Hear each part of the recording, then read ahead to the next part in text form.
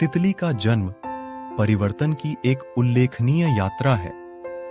इसकी शुरुआत एक पत्ती के नीचे एक वयस्क तितली द्वारा रखे गए छोटे, अंडाकार आकार के अंडे से होती है।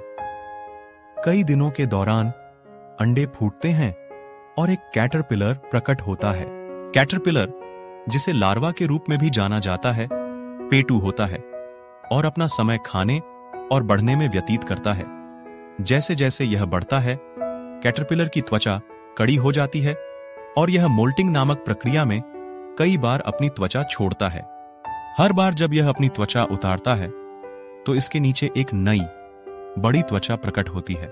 भोजन और गलन की अवधि के बाद कैटरपिलर एक आकर्षक परिवर्तन से गुजरता है, जिसे प्यूपेशन कहा जाता है। यह अपने आप को एक पत्ती या शाखा से जोड़ लेता है और अपने चारों ओर एक सुरक्षात्मक आवरण बनाता है, जिसे क्रिसलिस या प्यूपा के रूप में जाना जाता है। क्रिसलिस के अंदर कैटरपिलर का शरीर पूर्ण परिवर्तन से गुजरता है। यह अपने पुराने ऊतकों को गलाकर उन्हें तितली के शरीर में पुनर्गठित कर देता है। समय की अवधि के बाद जो तापमान और प्रजातियों जैसे कारकों के आधार पर भिन्न हो सकता है, परिवर्तन पूरा हो जाता है। क्रिसलिस पारदर्शी हो जाता है और अंदर वयस्क तितली को उभरने की तैयारी करते हुए देखा जा सकता है।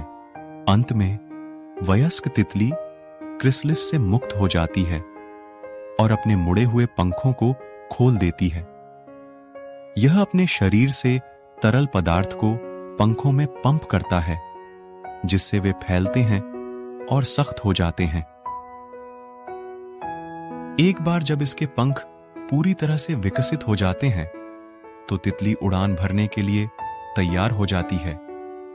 यह आमतौर पर अपनी पहली उड़ान शुरू करने से पहले आराम करने और धूप में अपने पंख सुखाने में कुछ समय बिताता है। नई उभरी तितली में अक्सर जीवंत रंग और पैटर्न होते हैं।